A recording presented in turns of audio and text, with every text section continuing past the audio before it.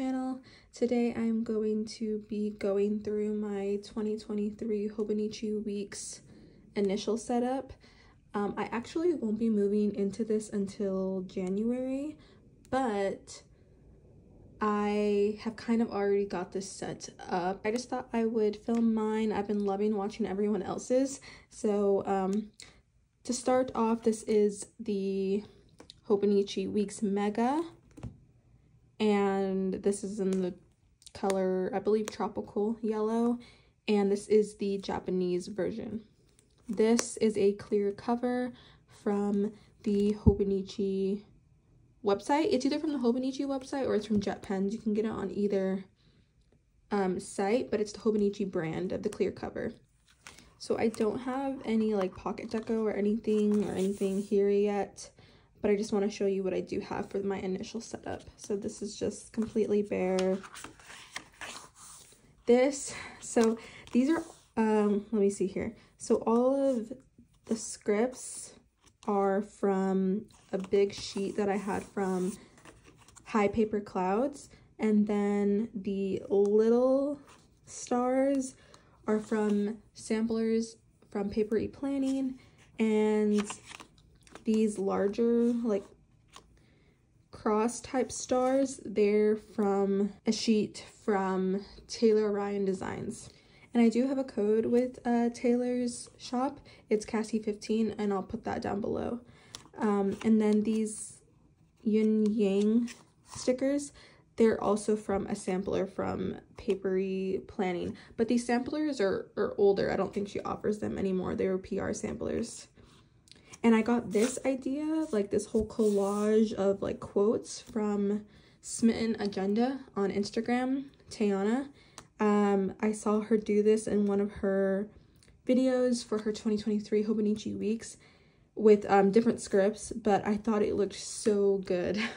I thought it looked so good. And this page in my current weeks, I actually, I had some like journaling cards there, but throughout the year, I've kind of just taken them out taken them off and I didn't really know exactly what to do with this page. So I thought this was just like a really cute way of adding a little something without like adding journaling cards or something to make it bulkier. I just thought this, this was like a really cute idea.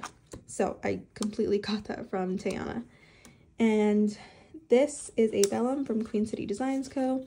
It I had to get it in personal size. That is why it's shorter because personal size is a little bit shorter than Hobonichi Weeks, but it's wider. So I had to cut some off the edge, which is why the her name isn't there, Queen City Designs Co. isn't there. And I just scotch taped that in, which probably wasn't my best idea. I should have used washi tape, but oh well. And 1995 is just the year I was born, so this page, I decorated a little bit. Um, this word of the year sticker is from Papery Planning. My word of the year for next year, 2023, is consistency. And you can uh, custom order this from Papery Planning. I really love this idea. It's like a small sheet full of like a bunch of word of the year stickers like this. And I believe you can choose two words if you want.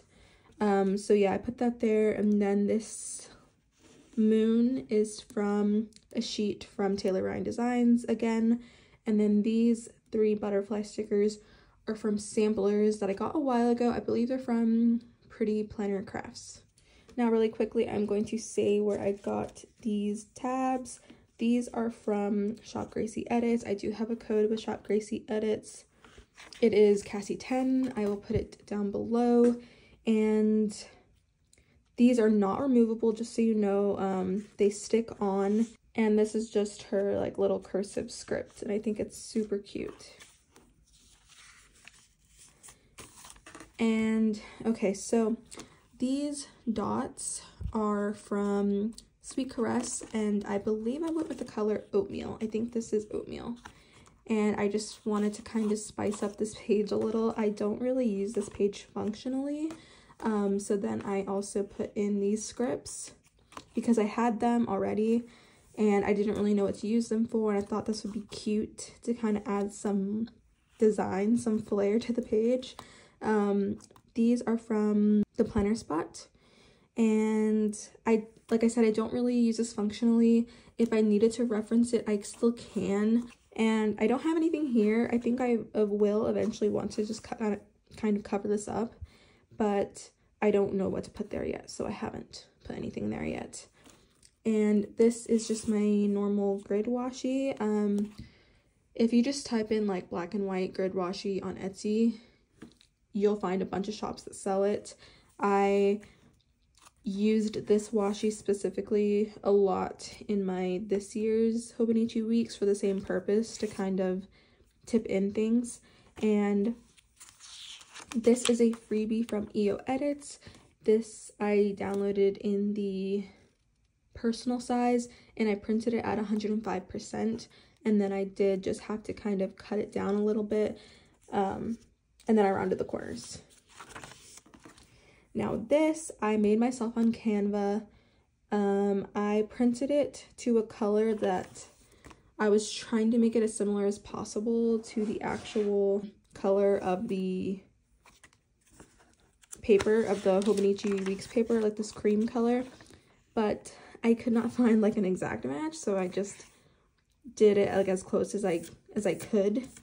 Um, so I just wrote down the important dates like the holidays for next year and I basically just cross cross referenced um papery plannings 2023 holiday stickers with the planner spots um 2023 important dates freebie I just kind of cross referenced those and yeah just made that from from those two and then I just did the birthdays down here. And I just used double-sided tape to tape that in. Now, this page I'm going to be diff using differently than my current one. My current one I used for daily spending and actually I only ended up doing it for like four or five months and then I kind of dropped off. So I wanted to use this a little bit differently. So I'm going to be using this as a step tracker, um, which I know a lot of people do. I will be recording my steps and then when the year or not year when the month is over I will be adding up all of the all of the days that I did 10,000 steps or over so I did 10k plus here and then I'll just however many days like for example if I walk 10,000 steps or over for like I don't know, 15 days, half the month. I would put 15 out of 31. I think there's 31 days in January, right? I don't know. um, so yeah, I would put like 15 out of 31. And then these little arrows represent the rings from the Apple Watch. So if I closed out the move, I think this is the move the move ring. So if I close that one out, I will mark it here. And then if I closed out the exercise one, I will mark it down here as well. And then the standing goal as well, I will mark it here. And then I think I'm going to add one with just like a circle. That way, if I close out of all three, I'll just do a circle or something like that. I haven't figured that out yet. But um, basically, I'll be doing the exact same thing that I'm doing for the 10K steps. So I'll add them all up. So if I closed my move goal 20 days out of the out of January, then I'll do 20 out of 31 and so on for these. And then, like I said, I think I'm going to add like a um, some kind of symbol for all three of closing all three of the rings. And then I'll do the same exact thing. I'll just add them up and then do it out of 31 and so on for each month. So I think that's how I'm going to do this um, spread for next year. And like I said, I am going to be, I am planning on moving into this in January. So I, I haven't done anything to the monthlies. All I did was add my tabs. Uh, but I'm planning on using this the same way that I'm using it for my current weeks which is I'll do a tracker at the bottom, which I don't think I'll have enough room here, but I'll just do it up here, which I have done in this week's before. I think it was sometime over the summer. There wasn't enough room, so I did it up here. Um, And then so also I'll have some sort of tracker and then I normally just kind of use the other space as like decoration. Um, so I think that's just kind of how I'll keep doing it. At least that's the plan so far. So I don't have anything written in any of these months. And this planner goes all, I have up until December tabbed out, um, but this planner goes all the way until March, I think, of 2024 and then the weeklies start. So like I said, I won't be using these weeks. The move-in time is next week. But this is the week that I plan on moving in. It's the week after Christmas and I know I could wait until the full week, full first week of January, but I really want to be moved in for like January 1st, like the first day of the new year, I really want to be moved into my new book. And that's on a Sunday, so I'm just gonna move in for this week, I think. so yeah, none of these have anything written in any of them. And this goes all the way until December 31st of next year, of 2023. And then this is where the notes pages start, where there's that page full of, um, well, mine had kanji, and then this page was like, it said like note or notes or whatever, and then it has like those lines with the numbers. And anyway, I covered both of those up, obviously the, both of those pages up, and my word of the year is consistency, and these are from, these stickers, they're from Little Magic Prints, and I showed these stickers in my like little haul video that I did. I think it was the last video I uploaded of like the supplies that I wanted or felt were necessary for my 2023 weeks. I think I believe that was the last video I uploaded. So that's this is what I use them for. Again, that same grid washi. And then these pictures are all just from um, Pinterest that I pulled. And I don't know if I like did something wrong, but these won't lay down flat. I just um, printed them on like really thin paper, not Tomoe River paper because I couldn't, I couldn't get my Tomoe River paper to dry at all. So I just printed it on like the really thin, just normal copy paper. And then I double, use double-sided tape, like scotch tape. And I used a little bit of glue because I ran out of tape. So I don't know, but like it won't really like lay flat completely, which is whatever, it's fine. But so anyway, um, these pictures kind of pertain to some of my goals and just kind of overall how I would like next year to like look or go or, you know, just something that I like to look at just as a vision board type of thing. And then my first page here is my index, which I do have a tab here that says index. It's also from Shop Gracie Edits because she does offer these, the monthly ones, but she also offers custom ones. So yeah, so I put that here so it would go straight to my index. And I completely copied this from Lindsay Scribbles. Um, she did her index this way for this year, for 2022, and she posted a video about it, and I thought it was so smart, like such a smart way to write down the data because usually in an index, or at least from what I've seen, people do the number first and then put in the information, whatever you're indexing. But I think this is a really smart way to do the info first and then put the number because sometimes you thread your pages together. If it's like, okay, so say say my wish list, I have one page set for it, page 21. But what if I fill it up and then later in the year, let's say page like 92 or something, I need another, I filled it up, 21, I need another wish list. And this is just where I'm at in my planner. So my next wish list would be 92. So I would just put comma 92. That way when I look for my wish list, I'll know it's threaded between those pages. And I just think that's a really efficient way um, to to write down the information. So I completely copied her and I kind of split this into two, which is also what she did um, for more room. There are 215 pages in the notes pages, so it's kind of a lot and um, I don't plan on indexing every single thing, but we'll see. This is my first time using a Mega. So after that is my future dates, which I plan to use the exact same way that I did for this current um, weeks, which is I just write down all of my future dates here. And then when it's time to set up my monthly, I will go in here and look at which dates are for that month and I will write them down and then I will either cross out or highlight the dates once they're moved to the monthly.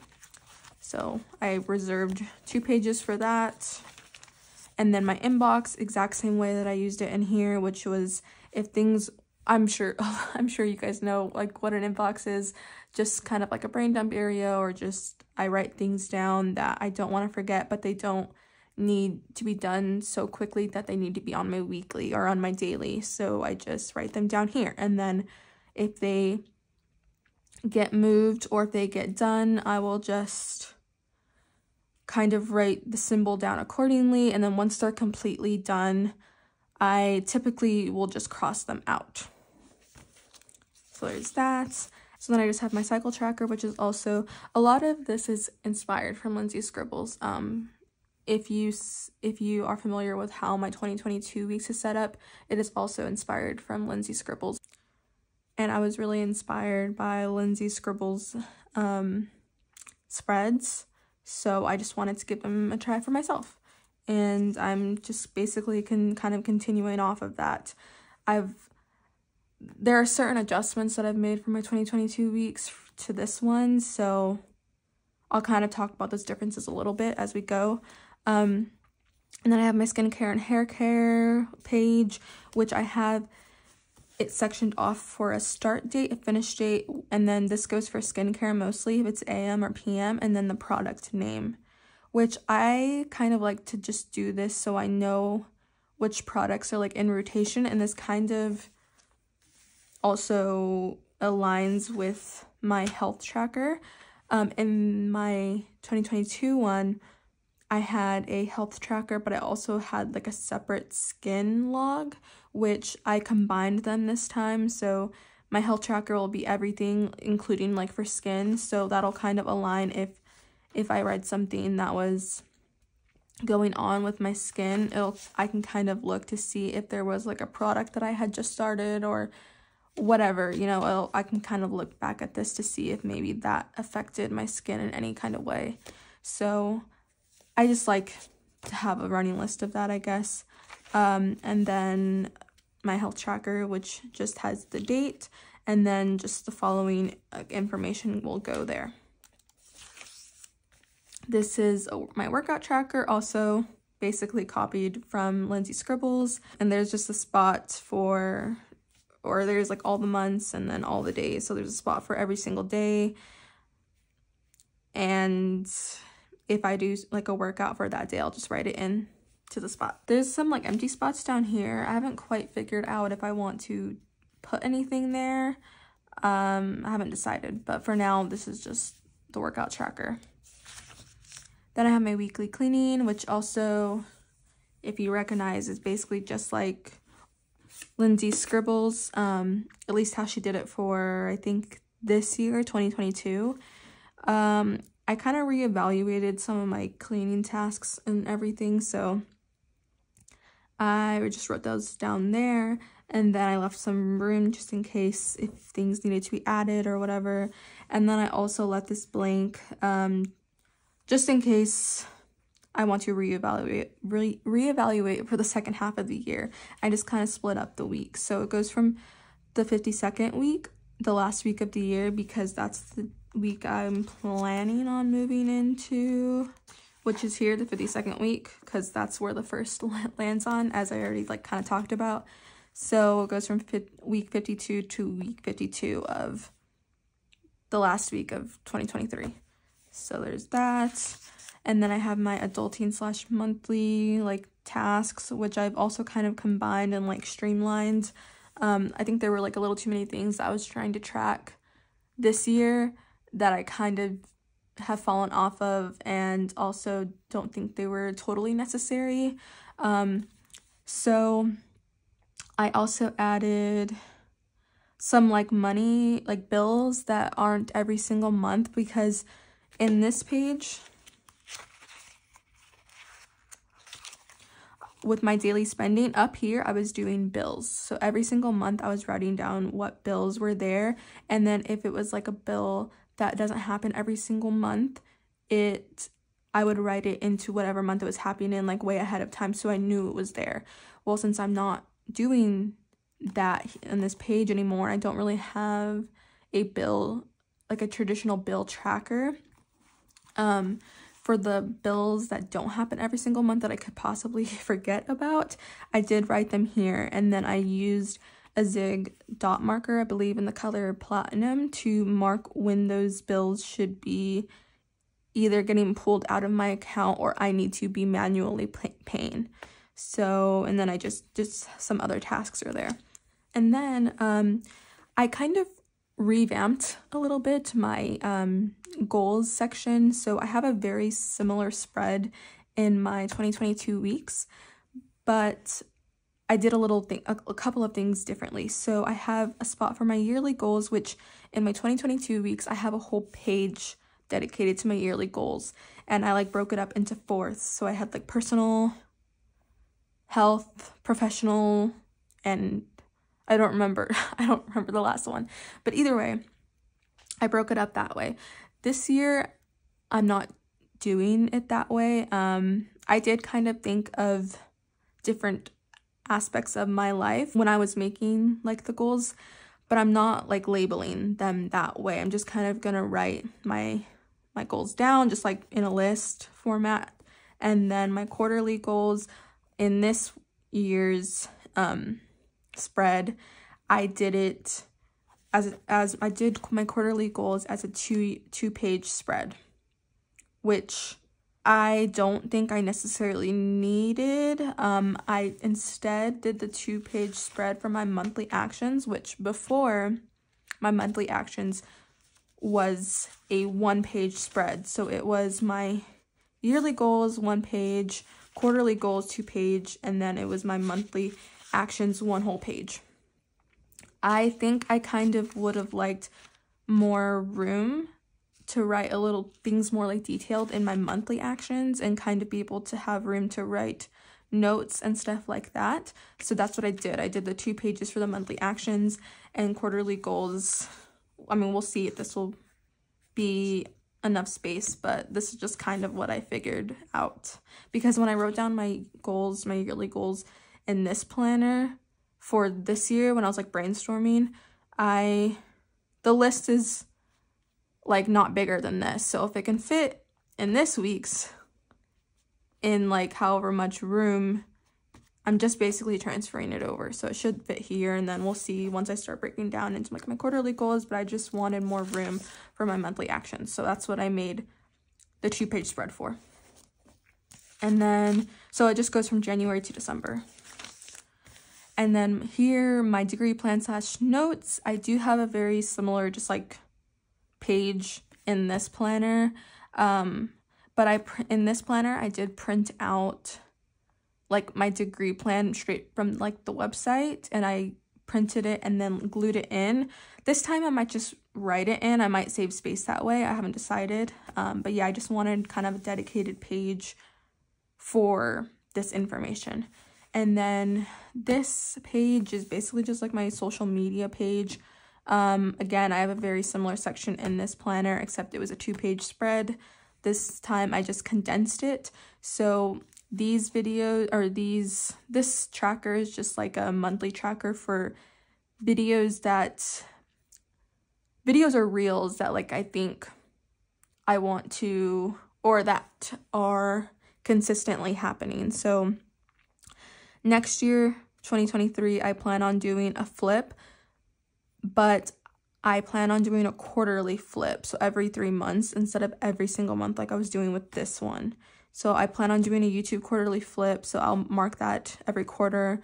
And then a YouTube plan with me, I this year I was liking doing it at least once a month. I've kind of stopped doing uh, that, but I, I think I would like to get back into that. So like once at least a month. So I'll mark that. And then my YouTube favorites, that's not a monthly thing, but I would like to see how often I'm doing it.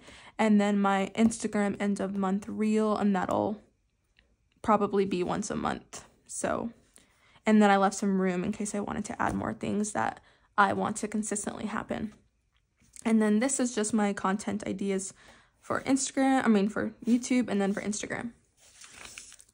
And then this page is just for my wish list. So exactly the same layout that I did in this planner, which is I have a spot for a check mark, I have a spot for the item, and then a, the shop. If there's like a specific shop that it's from, I will write that here.